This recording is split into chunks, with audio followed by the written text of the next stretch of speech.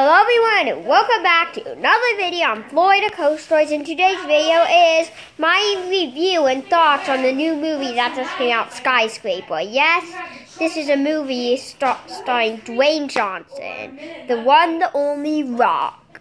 So yeah, so this movie was a very intense and thrilling movie and stuff. Um,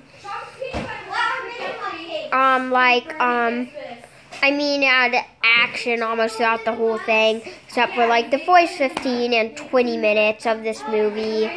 Um, this movie wasn't very a funny movie at all. It was more, more of a serious movie, but I still had a blast with this movie for sure. Is this movie perfect? No.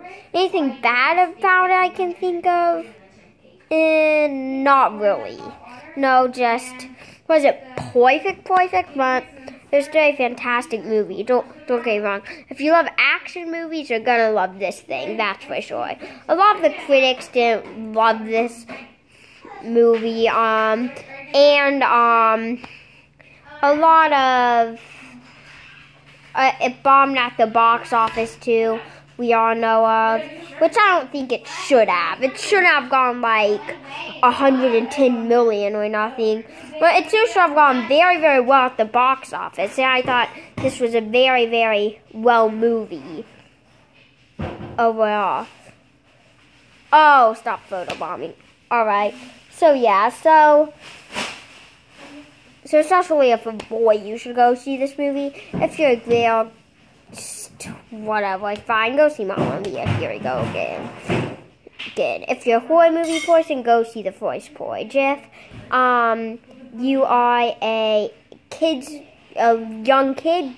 I guess go see Hotel Transylvania Summer Vacation. Overall, this was a great movie.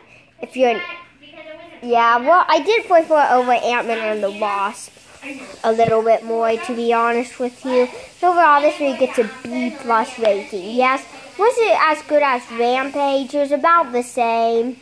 Probably a tiny bit worse than Rampage, but I still had a lot of fun with this movie, don't get me wrong. So anyway, make sure to like, comment, subscribe, and